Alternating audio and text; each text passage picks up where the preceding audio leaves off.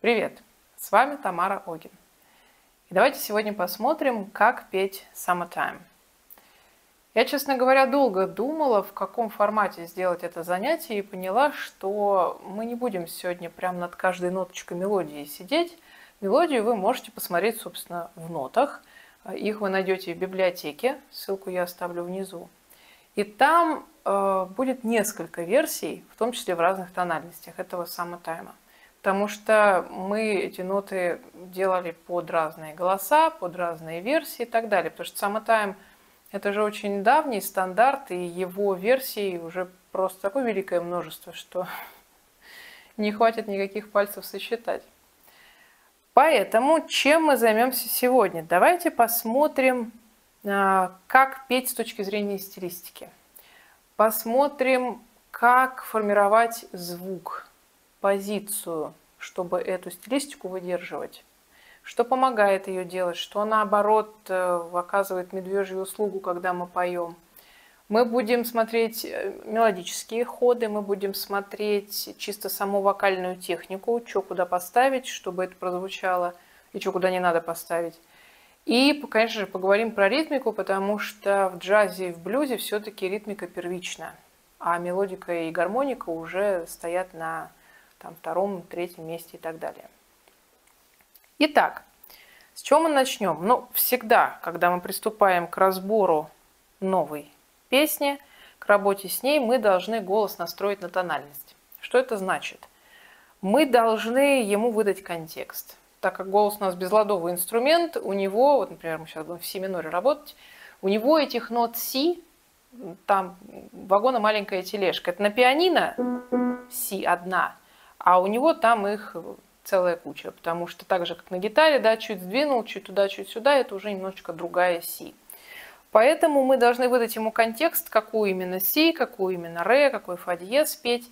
И, соответственно, для этого нужно поставить его в тональность. Также ставить в тональность нужно для того, чтобы голос лучше понимал, а, в какой области себя самого, своего диапазона, своих угодий э, голосовых он сейчас будет работать. Для того, чтобы, опять же, мышцы правильно настраивались, чтобы, соответственно, голос работал с меньшим, ну, скажем, энергопотреблением.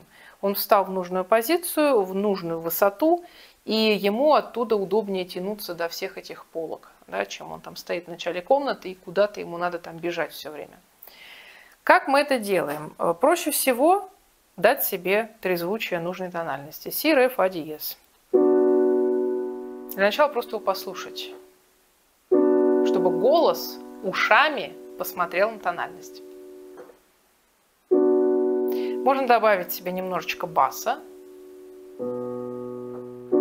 Опять же, я даю вариант для женского голоса.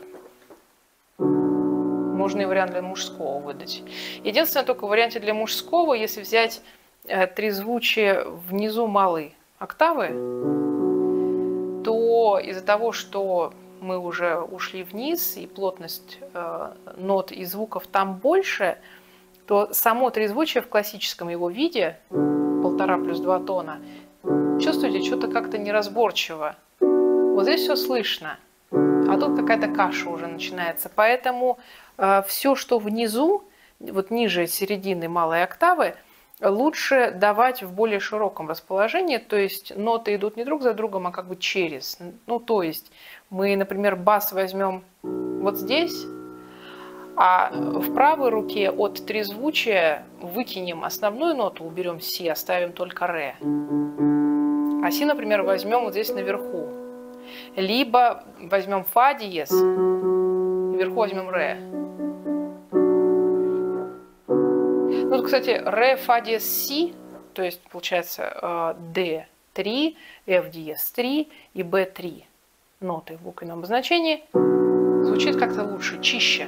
А тут уже все, каша пошла. То есть вот я обернул трезвучие один раз, си, ре, фа диез, да, ре, фа диез, си в малой октаве, и у меня уже получился такой более прозрачный вариант.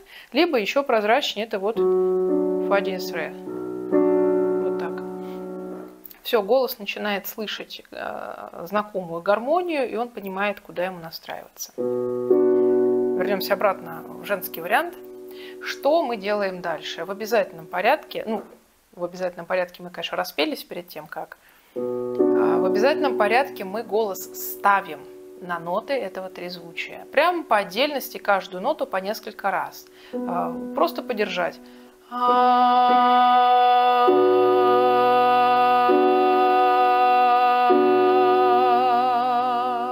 И в этот момент уши как локаторы.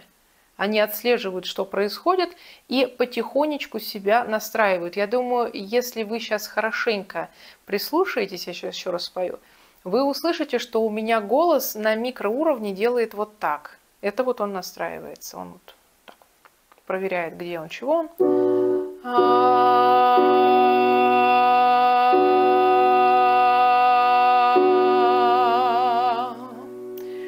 Несколько раз встали спокойно на одну ноту, потом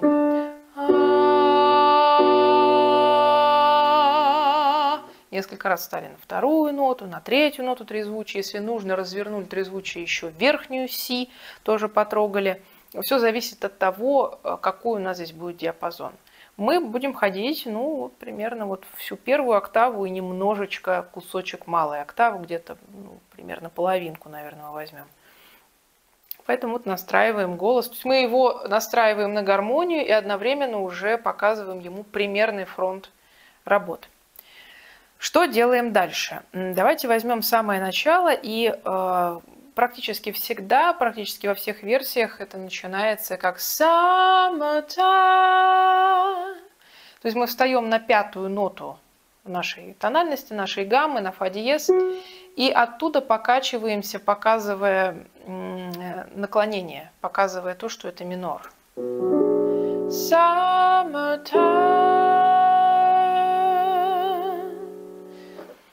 И, как вы слышите, я тут играю не чистый э, си минор, а ладовый. Это дарийский лад, это си минор, у которого повысили шестую ступеньку. Это вот как раз вот.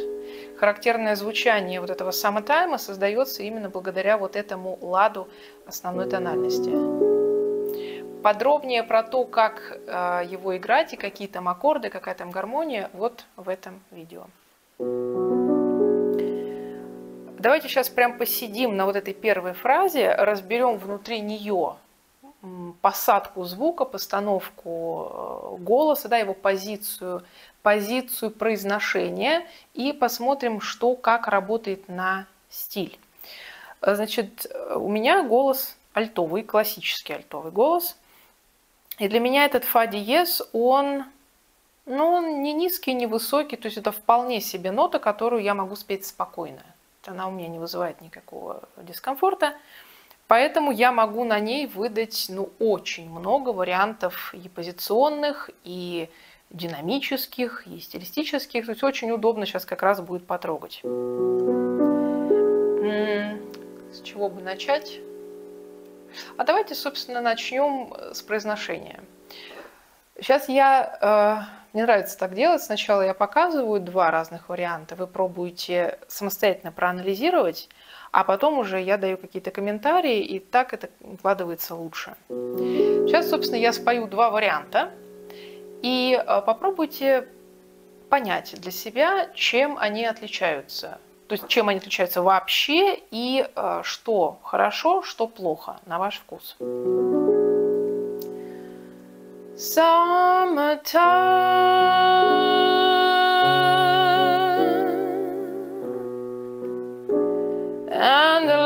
is easy.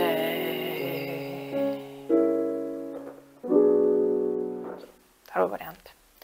Summertime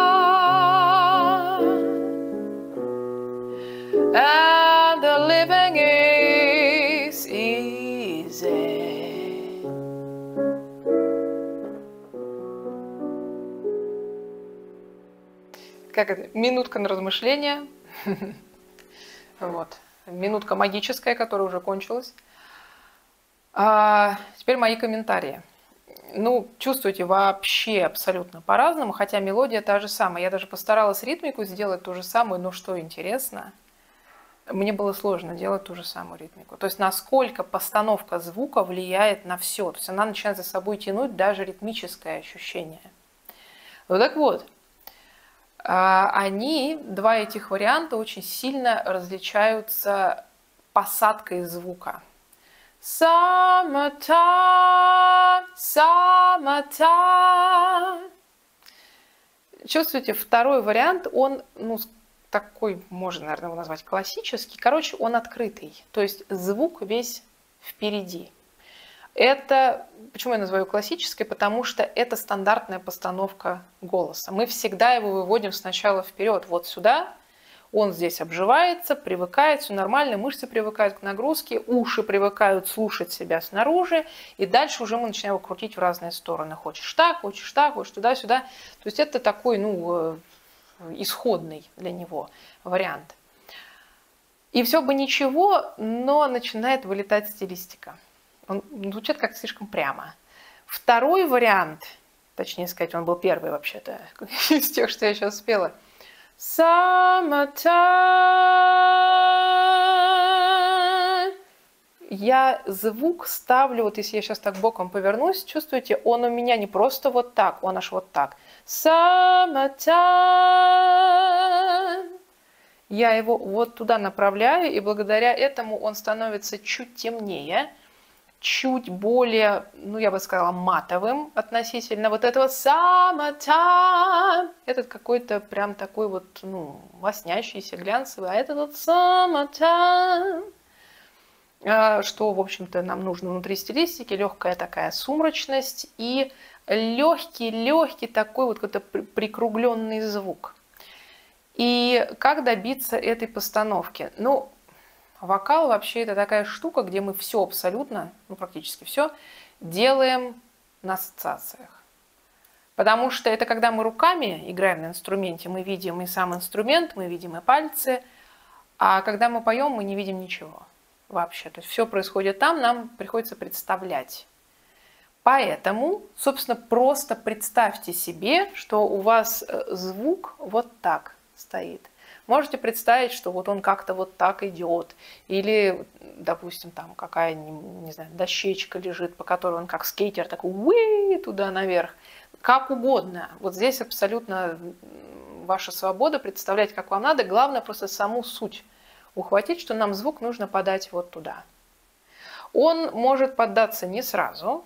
Главное тут не это, не, как сказать, не расстраиваться – и еще мега важный момент – не давить. То есть мы это делаем не мышцами, мы именно сознательно делаем это не мышцами. Мышцами это делает организм.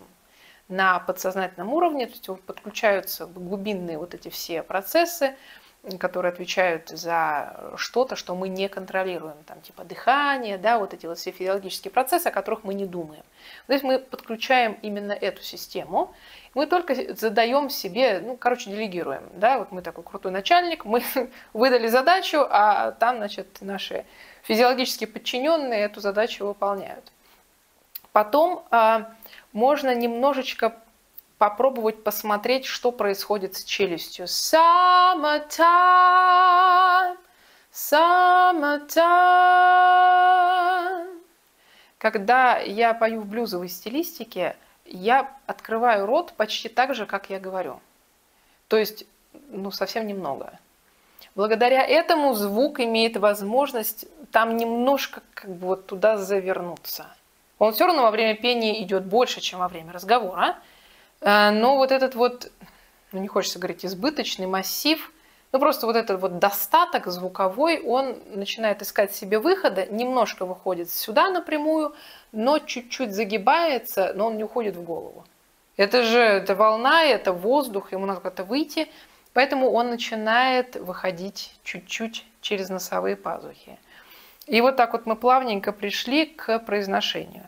Так как мы говорим о блюзе, а тем более еще и прям, ну, это, конечно, нельзя сказать, что это корневой блюз, потому что все-таки Summertime – это вещь написанная, да еще и написанная в такой, ну, я не знаю, сейчас надо, я думаю, будет поинтересоваться у муз-теоретиков, можно ли это назвать таким классическим лоном, потому что это все-таки опера. Гершвин все-таки писал оперу, прям многочастное произведение – то есть это, эта вещь очень сильно корнями в классику уходит. Ну, я имею в виду в академическую музыку. А, но, тем не менее, э, этому произведению скоро сто лет, по-моему, в 28 году он его написал. И э, так как это именно такая старая традиция, да еще и традиция именно американского исполнительства, то есть мы имеем э, дело не просто с английским языком, а именно с американским английским в плане произношения, нам нужно создать немножко такой ну, носовой, сонорный чуть-чуть призвук который характерен именно для американского английского. И тогда мы с большей вероятностью попадем в стиль, потому что мы привыкли к блюзовому звучанию именно в таком виде. Если мы хотим попасть в стиль, мы все равно будем даже подсознательно стремиться именно вот к этому звучанию. Поэтому summertime, а, а, немножко чуть-чуть так. Если начать на русском языке говорить таким вот образом – то это будет звучать очень странно, потому что русский язык, он открытый, он весь через челюсть вперед.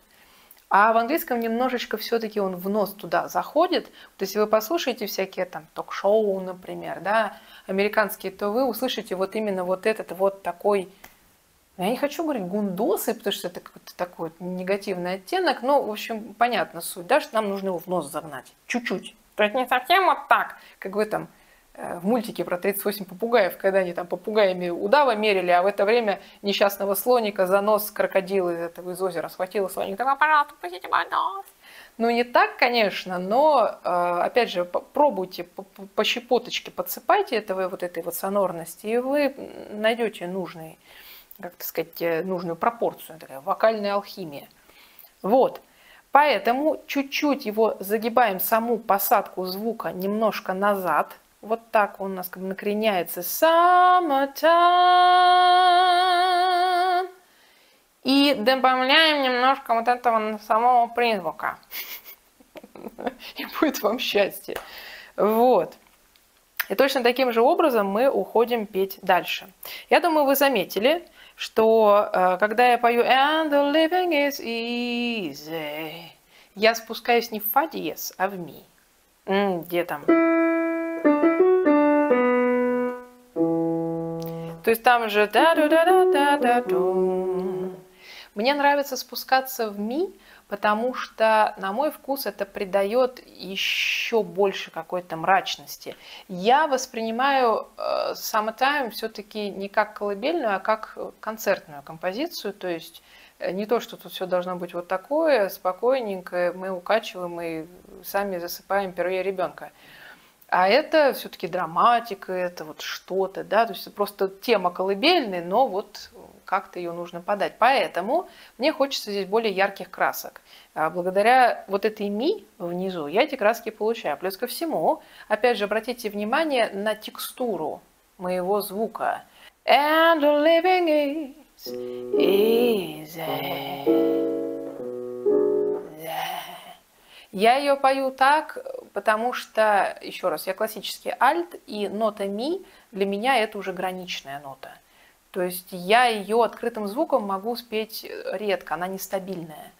И я ее беру таким, ну, больше именно даже каким-то разговорным, вот таким вот режимом, и она от этого получается ну, какой-то перкуссионный, я бы даже сказала, ноты. То есть в ней не столько высота, сколько именно вот эти шумовые эффекты. Она немножко такая скрипучая. Да, вот такая. И это добавляет, согласитесь, такой красочки специфической. Ну, это вот, опять же, на мой вкус. А, вы можете спускаться на фа диез и брать ее более... And the living is easy. Кстати, плавненько перейдем к такой еще штуке, как вибрато. Fish are jumping And the cotton is up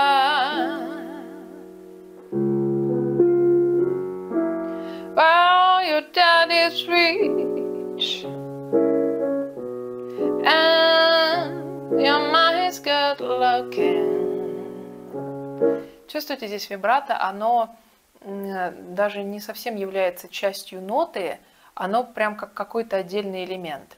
Это э, такое, ну, стилеобразующее, я бы сказала, вибрато для э, именно блюзовой вокальной музыки, особенно старой блюзовой музыки, что я делаю? Вообще классическое такое универсальное вибрато, оно же настроится на полтона вниз. Ну, я не знаю. И вот э, он там, значит, себе бултыхается на полтона вниз. Блюзовое вибрато именно такого характера, вот про который мы сегодня говорим, оно строится в другую сторону. Summertime. Оно строится вверх, и в зависимости от нужной вам краски, я бы даже сказала, от нужной текстуры, я говорю, мне сразу представляется, когда эту декоративную штукатурку кладут на стену, и э, если хотят ее не просто ровной сделать, а какую-то там, ну, собственно, рельеф какой-то э, туда бахнуть, то берут разного вот рода эти, как их звать, э, шпатели, не гладкие, опять же, да, а с какими-нибудь там этими лапами, зубами какими-нибудь. Ну, забыла слово. Короче, проведешь, у тебя полоски останутся. Более мелкие, более крупные. Более мелкие полоски дадут, соответственно, более мягкий эффект зрительный, более крупные, что-то такое более ощутимое. Вот здесь то же самое. В зависимости от того, какая вам нужна текстура этих вокальных полосок, вы можете делать вибрато либо меньше, либо больше. Что я имею в виду? То есть, например, на полтона или, или на там, не знаю, где-то, наверное, я... Да, почти на малую терцию я сейчас его раскрутила. Вот. Будет зависеть, собственно, массивность вашей вокальной текстуры. Но берем ноту и начинаем ее вибрировать. Прям добавляем. Ну, не везде, конечно, надо здесь будет прислушаться. Запишите себя, послушайте, как в вашем голосе, в вашем тембре это звучит. И добавляйте. Но вот я заметила, что именно вверх качающаяся вибрато как раз добавляет вот этой самой стилистики, уводит нас от классического звучания в звучание более блюзовое. Ну и более джазовое, опять же, там надо смотреть, в какой пропорции подсыпать, но это тоже добавит. Mm, well, your dad is rich. And mine's good looking.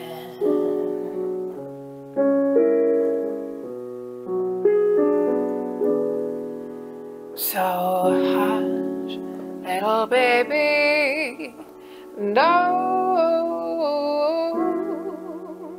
you cry.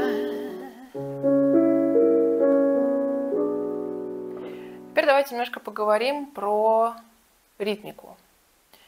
Я уже сказала, да, что ритмика является, ну, наверное, самым главным джаза, блюза образующим элементом, потому что, я думаю, вы замечали, что практически любую мелодию стоит сыграть с свинго-синкопированным вот этим вот ритмом, и все, сразу случился джаз. Да, вот сразу случилась джазовая аранжировка. Но почему-то в обратную сторону это так не работает. То есть если мы а, возьмем и джазовую гармонию сыграем ровно, как раз-таки это работает вообще в противоположную сторону, дает обратный эффект. Мы слушаем и думаем, что, слушай, ну что ты взялся за джаз? Ну, ну не дается тебе, не надо тебе это играть, что ты так ровно играешь? Поэтому ритмика, порой вот можно даже слышать в сольных партиях хороших музыкантов – они умудряются на одной ноте сбацать такую сольную партию, что просто искры летят.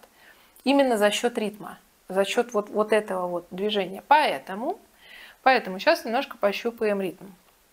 Я думаю, что будет хорошо разобрать три базовых таких момента, вернее, один момент, в трех частях, в трех томах. Как вообще работает а, джазо-блюзовая ритмика? Здесь, собственно, что за три части? Мы можем попасть ровно в долю, мы можем опередить долю и мы можем опоздать. Там уже дальше, конечно, надо это все смотреть более точно, более мелко, но э, здесь лучше всего, конечно, работает наслушанность. Это работает всегда, это панацея. Вот просто слушай, слушай, слушай, постепенно начинаешь понимать, в каком по какому принципу да, по какой логике он вступил здесь, а почему он тут чуть притормозил, а почему здесь немножко обогнал. Но в целом есть именно три момента. Либо мы ровно попали, вообще попали, либо мы опередили, либо мы опоздали.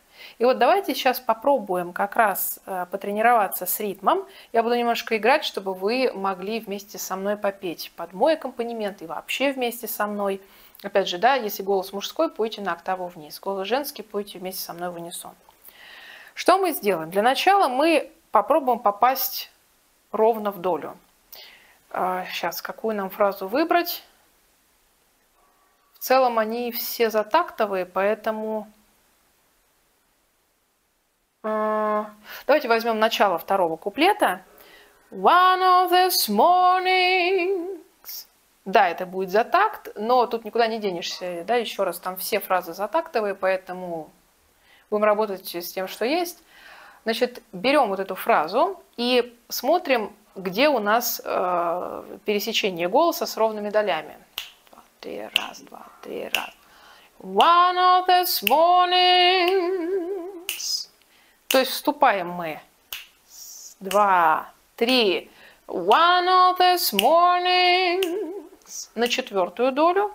И попадаем акцентом на первую. Я очень надеюсь, что вам не слышно этого грохота, потому что мои соседи решили поиграть на батарее, судя по всему. Еще разок. Раз, два, три, раз, два, три, раз, два, три. One of this morning. То есть сейчас соблюдаем абсолютно ровное попадание, прямо жесткое, конкретное, сильное. А, что я играю?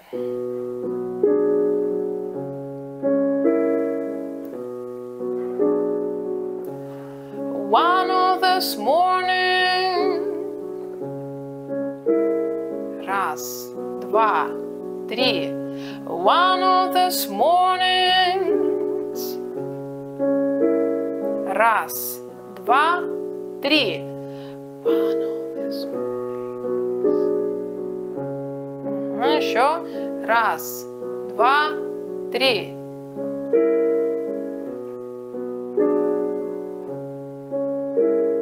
Раз, два, три. И последний.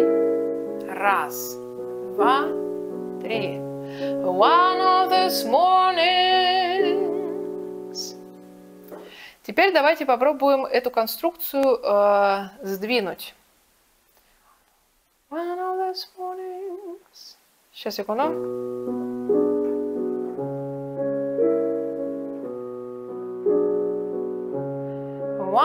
These mornings.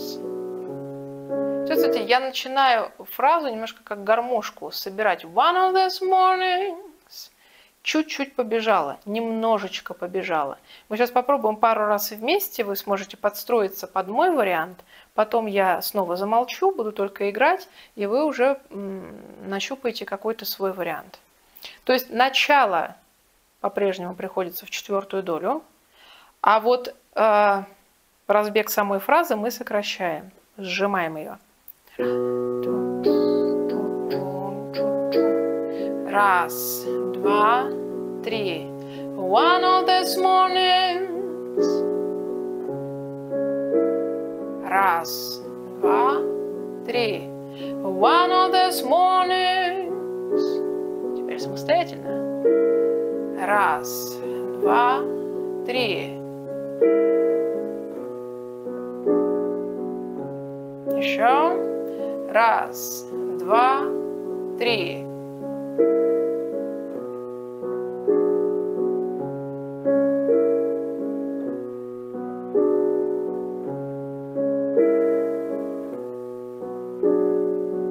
И последний.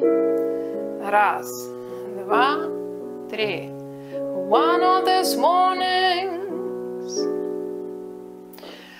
Ну, это довольно такой непростой вариант, конечно. Тут нужно потренироваться чувствовать фразу целиком, чтобы ее сжать равномерно.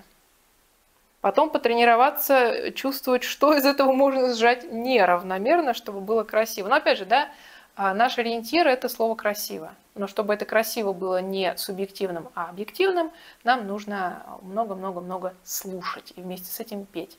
Такое лирическое отступление. Вообще, а, именно сама ритмика джаза блюзовая, она может вызывать большие сложности, потому что в ней э, лежит какая-то иная логика. Иная в смысле, что в академической музыке в популярной музыке она одна, а в джазе-блюзе она другая. И когда мы переходим с одного на другое, мы можем испытывать затруднения, причем часто большие. Вот, собственно, это моя история. Я вообще-то академический музыкант по образованию, но побыв в академической музыке, я поняла, что все-таки как-то мне ближе джаз с блюзом. Поэтому стала переучиваться уже сама по окончанию своего академического обучения. И я очень хорошо это помню, что ты специалист с красным дипломом, просто вот весь хорошего мнения о себе, ты головой понимаешь, что происходит, а выдать это не можешь. Потому что, потому что у тебя весь твой аппарат к этой логике не привык, он привык к другой логике он привык ходить другими дорожками. И мне приходилось э, попервой вообще просто в копейку, что называется, снимать какие-то вещи. Я очень хорошо помню, что я закликала YouTube просто до дыр в какой-то момент, потому что я все время вот отматывала, отматывала, отматывала, включала одно и то же место. Я пыталась понять, почему Стив Рейвон вступает именно в этом месте. Мне казалось, что он вступает просто как-то вот так вот. вот ему где-то захотелось, он поперек доли вообще не, совершенно не высчитываемо вступил. Ну, наверное, примерно так это и было. Но он почувствовал. И вот вся ритмическая логика джаза и блюза, она заключается вот в этом почувствовал. То есть ждать какой-то супер-мега-схемы, здесь надо почувствовать, но это почувствовать, оно приходит постепенно через наслушанность. Вот, поэтому это все освояемо. Это все освояемо. И ну, надо только применить время на это все дело. Но вот так вот берем и тренируемся. То есть есть определенные направления, внутри которых, собственно, мы применяем вот это почувствовали. Сейчас мы возьмем третий вариант, мы будем запаздывать. И если до этого у нас два варианта были начинающиеся ровно в четвертую долю, то сейчас нам нужно сдвинуть именно самое начало вообще э, этой фразы мы рискнем всем и попробуем ее сдвинуть аж на четверть. То есть у нас было One of this morning состанет One of this mornings То есть чувствуете, э, это третий вариант, он является одновременно миксом со вторым. Потому что когда я начинаю фразу позже, я на автомате пытаюсь чуть-чуть это компенсировать. Это, в принципе, еще а, одна такая, ну как правильно сказать, один столб, наверное, внутри джаза-блюзовой ритмики – это баланс. Это баланс между побежали, притормозили, побежали, притормозили. От этого создается как раз вот это очень интересное такое объемно движущееся ощущение – Э, когда вот особенно на живых концертах сидишь, ты начинаешь чувствовать, что звук где-то вокруг тебя. Он не где-то на сцене. И это не потому, что стоят колонки. Колонки вообще-то стоят тоже на сцене. А он как-то вот вокруг тебя оббегает и вот тебя закручивает. То есть он прям, он живой. Именно благодаря вот этому балансу. И э, я это делаю, конечно, уже на автомате, потому что, опять же, да, большой опыт и большая наслушанность. Но поначалу мне тоже приходилось это вручную делать. Поэтому сейчас, опять же, мы попробуем э, спеть вместе, потом я вас оставлю исключительно со своим аккомпанементом и потом снова подхвачу в конце. Попробуйте сейчас сделать два варианта. Первый вариант – они оба будут начинаться ровно в сильную долю, не в четвертую, а прямо в сильную. Прямо когда у меня аккорд Си, тогда и мы начинаем фразу. Один вариант – это спеть э, эту фразу ритмически, вот как она изначально была. One of these mornings. Ну так, медленно, да? А второй вариант – это чуть-чуть подбежать. One of these mornings. Попробуем. Раз, четыре. One of these mornings. Сейчас с подбегом. Три, четыре.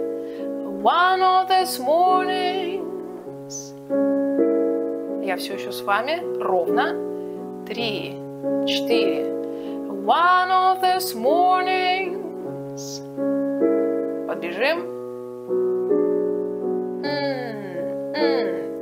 One of these mornings.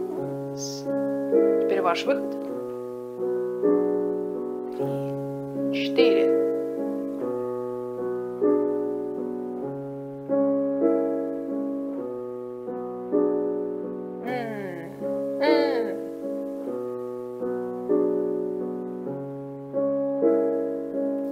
Сыграйте, голубчик, еще 46 квадратов.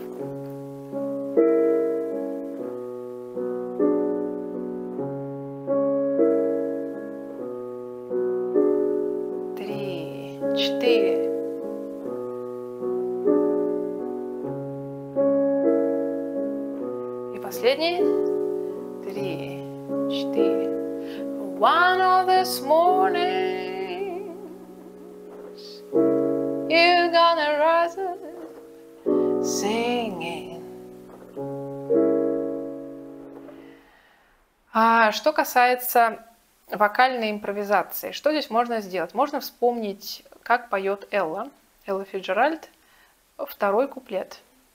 One of these mornings. Что она делает? Она э, жонглирует нотами звучащего аккорда. Вот мы вначале голос настраивали на семинорное трезвучие, вот оно нам и пригодилось. У нас там фа диез ре, да да да да да Что у Эллы там происходит? да да да да да Она уходит на си, то есть она берет э, ноту из трезвучия, просто другую, закидывает наверх, вот у нее и получается другой вариант. Э, мне нравится здесь, когда большую экспрессию набираешь ко второму куплету и хочешь там жахнуть, то можно э, не возвращаться в фа диез, а, например, уйти в до диез.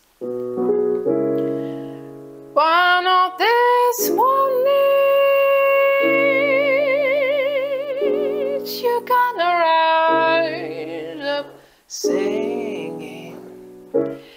А здесь также у Фиджеральд тоже это встречается. Yeah, morning you're gonna rise up. Чувствуете резкость? Это фабикар. Это элемент блюзовой гаммы, либо пониженная пятая, либо повышенная четвертая, ее называют в зависимости от того, куда мы двигаемся. Мы сейчас идем вниз, поэтому пониженная пятая. Ну и, и дальше. То есть я оставляю хвост фразы такой же, а вот начало чуть-чуть меняю.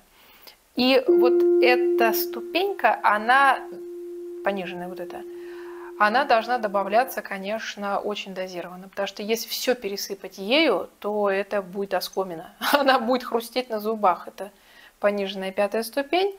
Но в моменте, например, какого-то напряжения можно ее добавить. Или добавить наоборот в каком-то очень тихом месте, да, чтобы вот она какой-то такой яркий всполох красочный дала. То есть тут опять же смотрите, как а, вы решите по форме, по драматике и особенно, как это будет именно в вашем голосе звучать. Что тембры разные, и у вас это может прозвучать совсем не так, как, например, у меня. Вот. Там, кажется, пытается выглянуть солнышко. Then I spread your wings and I'll take to the sky. Можно переходить на полуразговорный режим. And you take, you take, and you'll take.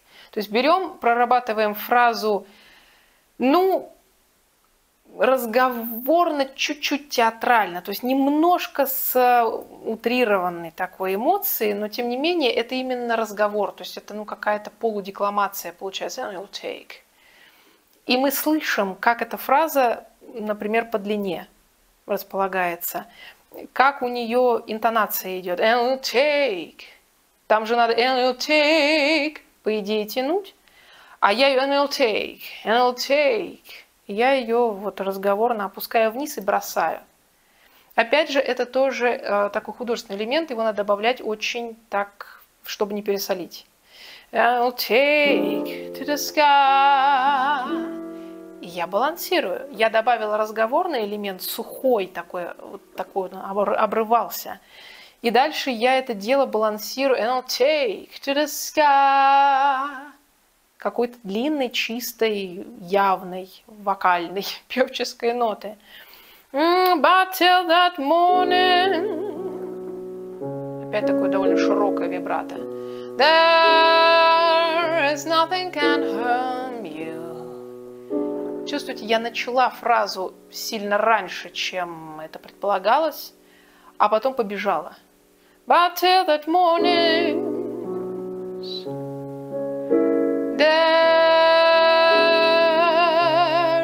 nothing can harm you.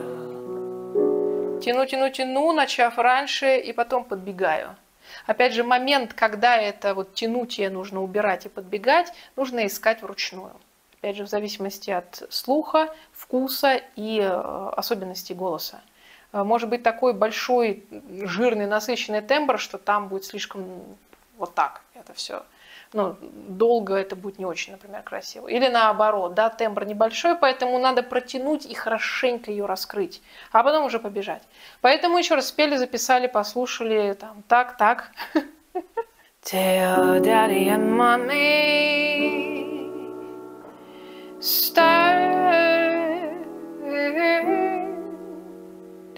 by здесь, в зависимости от драматики, вы выбираете нужный вам массив громкости. Ну, то есть громче вы споете, тише, там, жахнете к концу, уйдете там на какую-нибудь кульминацию, или наоборот, вот как я, приберете так спокойненько, философски. Это зависит исключительно от э, вашего, вашей идеи. А надо всегда помнить, что концовкой произведение, ну, чаще всего управляет именно вокалист, особенно если это касается какой-то баллады. Я тут играю и пою сама, мне проще это контролировать, но обычно, когда аккомпаниатор и вокалист два разных человека, то аккомпаниатор или смотрит, или краем глаза, или ухом там как-то ловит телодвижение певца. Он никогда не жахнет первым. То есть это вот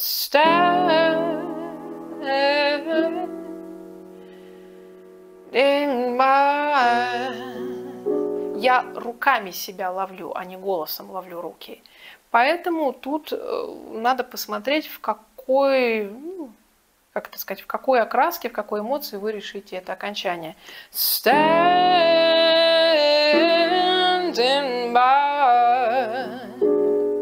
Можно так. Здесь тогда все случилось ровно и с таким каким-то напором. Вот. Вот так можно спеть эту песню. Ставьте лайк, если вам было полезно. Подписывайтесь на канал, и мы с вами увидимся в новых видео. Удачи!